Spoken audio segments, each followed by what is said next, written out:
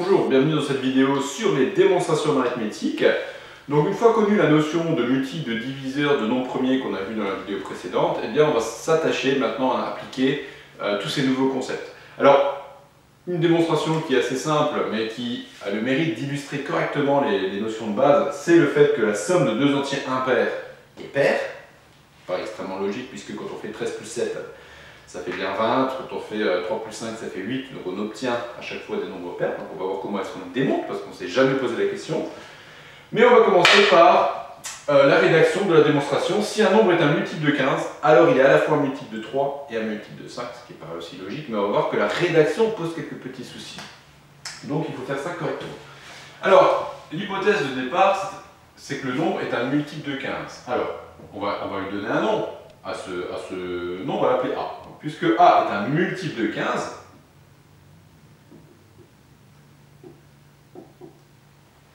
on va euh, reprendre la définition qu'on a vue précédemment et on va dire, bah, alors, bah, il existe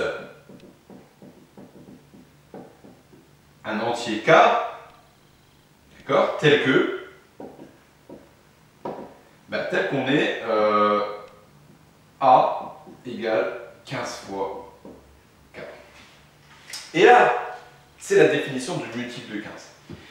Alors, on va simplement essayer de d'écrire, vous allez voir 15, on va le décomposer en d'abord 3 fois 5, mais on peut aussi l'écrire. 15 c'est 3 fois 5, mais c'est aussi 5 fois 3. D'accord J'ai pas fait grand chose, hein. j'ai simplement dit que 15 c'était 3 fois 5 et, 5 fois 3. Alors pourquoi j'ai fait ça et j'ai utilisé un code couleur? Bah, Tout simplement pour vous expliquer que A, il s'écrit 3 fois quelque chose.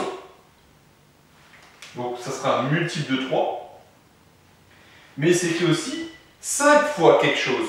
Donc ça sera considéré aussi comme un multiple de 5. Donc la démonstration là, est terminée. Hein. C'est-à-dire que comme A s'écrit 3 fois quelque chose, bah, c'est dans la table de 3. Et comme A s'écrit 5 fois quelque chose, bah, c'est la table de 5. D'accord? Alors comment ça s'écrit d'un point de vue mathématique? Parce que quand je dis quelque chose, il faut quand même que ça, soit écrit clairement. Euh, et eh ben, on va écrire c'est que c'est égal à 3 fois K1. On va l'appeler K1. D'accord? Ce K1, c'est ce 5 fois K, là, c'est ce truc-là. Il faut, il faut vérifier que ce K1, c'est un entier naturel. Ben, c'est bien un entier ce K1 parce que quand je fais 5 fois K, ben, K c'est un entier, donc 5 fois K c'est un entier.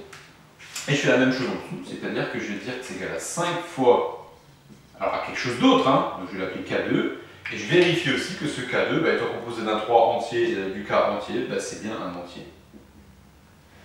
Et donc on a les écritures théoriques du fait que A est un multiple de 3, puisque c'est écrit 3 fois un entier, et un multiple de 5 qui s'écrit 5 fois un entier.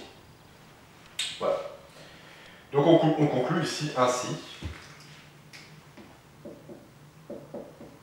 A est un multiple de 5 et de 3. Voilà la conclusion.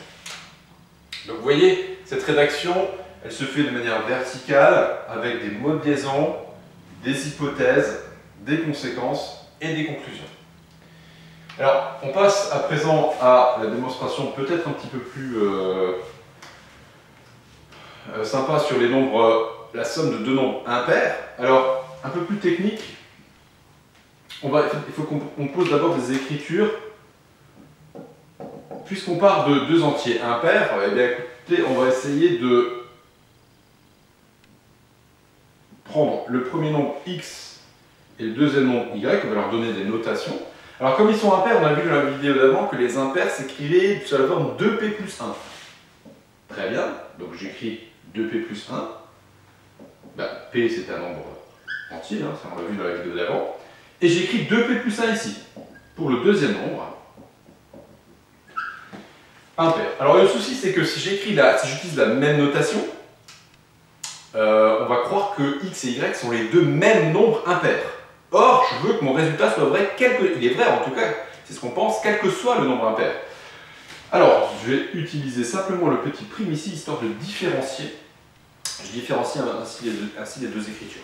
D'accord? Et maintenant, je vais faire les calculs. Alors, je, veux, vais les additionner, je vais vérifier que tout ça, c'est pair. Alors, je les additionne. Euh, donc là, j'ai posé les notations. On a. Donc, je les additionne. x plus y. Alors, je ne vais peut-être pas avoir de place, je vais peut-être le faire en dessous. Voilà. x plus y égale 2p plus 1. Donc, je recopie l'expression de x. Je recopie l'expression de y. Je fais un petit calcul. Alors, je peux rien faire avec le 2p, je peux rien faire avec le 2p'. Par contre, j'ai un 1 plus 1, 1 plus 1. Je vous laisse le calcul. Ça fait 2. Et j'ai une somme, x plus y, qui est égale à 2 fois p fois p' plus 2. Alors là, je reviens à ce que je veux démontrer. Je veux démontrer que la somme des deux impairs est un nombre pair. Or, c'est quoi un nombre pair? Ben, Un nombre pair, c'est un nombre qui est de la table de 2. C'est un multiple de 2. Et bien là, je vois qu'il y a plein de 2. Donc il va falloir que j'écrive tous ces petits 2 là, faire en sorte finalement qu'il y ait un facteur 2 euh, qui apparaisse pour que x plus y s'écrive deux fois quelque chose. Alors, de manière assez immédiate ici, hein, vous avez déjà fait de la factorisation au collège, donc on peut factoriser ici par 2 dans cette expression qui a trois euh, parties. Donc dans la première partie, quand je factorise par 2, il reste p. Ici, il reste p'. Et ici, quand je factorise par 2, il reste 1. On revérifie que la factorisation marche bien en redistribuant le 2. 2 fois P, c'est 2P. 2 fois P', ça fait 2P'. 2 fois 1, ça fait bien 2.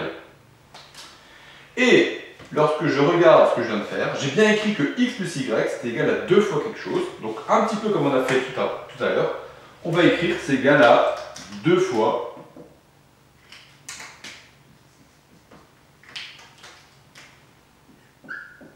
P1. Allez, j'écris ça comme ça. Et donc, on a bien un multiple de 2.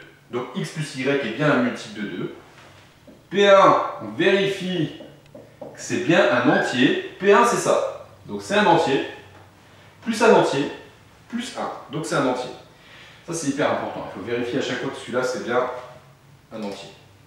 Et comme c'est un multiple de 2, eh bien, x plus y, ainsi, x plus y est pair. Et on a bien démontré que la somme de deux nombres impairs était un nombre pair. Alors, dans cette vidéo, je vous présente deux démonstrations assez simples. Euh, j'aurais pu également prolonger sur la notion de divisibilité. Par exemple, vous pouvez vous entraîner chez vous euh, sur la démonstration suivante. Euh, si, si deux nombres sont divisibles par 7, par exemple, est-ce que la somme est aussi divisible par 7 Bon, on peut montrer que c'est vrai chez vous. Voilà, j'espère que la rédaction ici a été assez claire. Essayez de faire une rédaction verticale avec des mots de liaison, comme ici et là. Je vous remercie.